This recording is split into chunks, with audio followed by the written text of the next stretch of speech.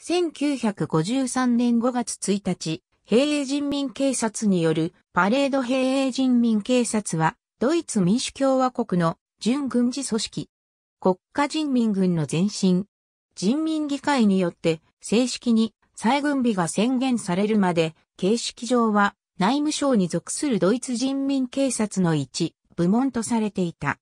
ドイツ社会主義統一党党大会における平営人民警察の機種1948年10月、在独ソ連軍政府は占領地で警察業務を行っていたドイツ人民警察に対し、軍事部門として機動警察の編成を行う旨の命令を下し、その規模は250人を1個連隊とする40個連隊とされた。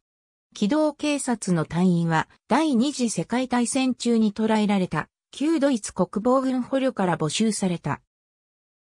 1948年11月、ドイツ内務管理局は、機動警察及び国境警察、グレンズパリジー、国境警備隊の前身を統括する権限を獲得する。これらの部隊は、国境警察及び機動警察本部が管轄し、ビルヘルム・ツァイサーが総監に任命された。1949年8月25日、国境警察及び機動警察本部は訓練管理局に改名される。1949年10月7日、ソビエト連邦占領下の東ドイツ地域でドイツ民主共和国が成立。この際、ディボディの一部が内務省に分割され、訓練管理局もドイツ人民警察の一部門として内務省に移管され。